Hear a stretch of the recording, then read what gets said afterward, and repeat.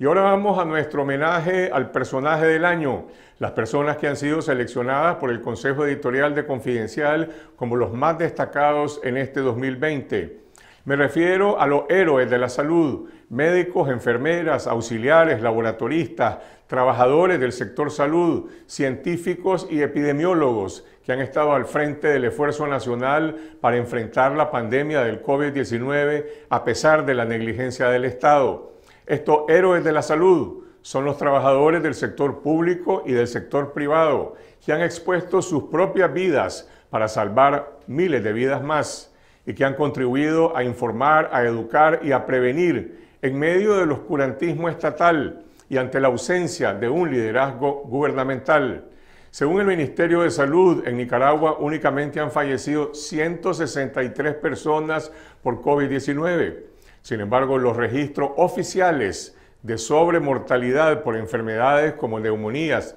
infarto, diabetes e hipertensión asociadas o agravadas por la COVID-19 confirman que han muerto más de 8.400 personas. Y esto representa una verdadera tragedia humanitaria que el régimen Ortega Murillo intentó ocultar y le mintió de forma deliberada al país exponiendo a decenas de miles de personas al peligro.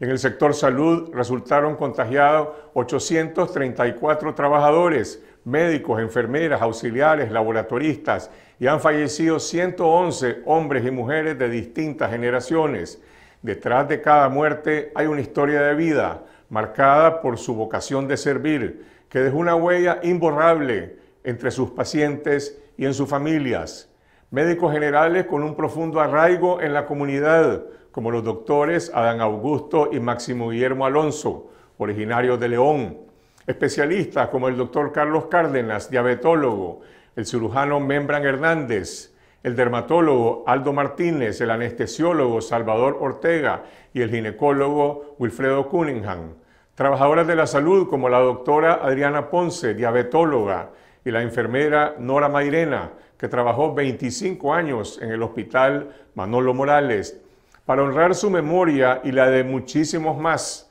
que fallecieron sirviendo a los demás. En Nicaragua no podemos bajar la guardia ante esta pandemia de salud, que no solamente no ha terminado, sino que amenaza con implantarse con nuevas oleadas de rebrotes de contagio.